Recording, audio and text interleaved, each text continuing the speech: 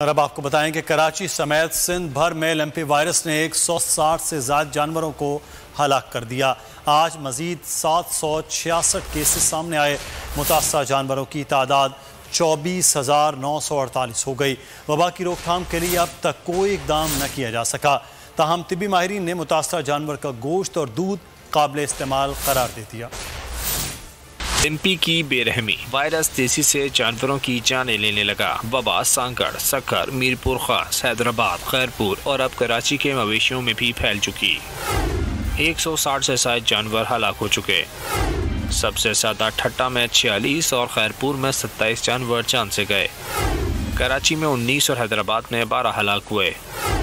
मजीद सात सौ छियासठ केसेस सामने आ गए, जिसके बाद मुतासर जानवरों की तादाद चौबीस हज़ार नौ सौ अड़तालीस हो गई। वज़ीर लाइव स्टॉक अब्दुल बारी का कहना है की बीमारी से मुतालिक आगाही फराहम कर रहे हैं। अदवायात के लिए बैरून मुल्क चार कंपनियों से रबता किया है। बाहर की जो कंपनियाँ हैं, चार कंपनियाँ हमारे साथ रबते में आई एक साउथ अफ्रीका की कंपनी थी, दो तुर्की की कंपनियाँ हैं और एक जॉर्डन की कंपनी है। और उन कंपनियों से कोटेशन लेके और इमरजेंसी बुनियादों पे वैक्सीन मंगाने के लिए हमने ये सारी कोशिशें की।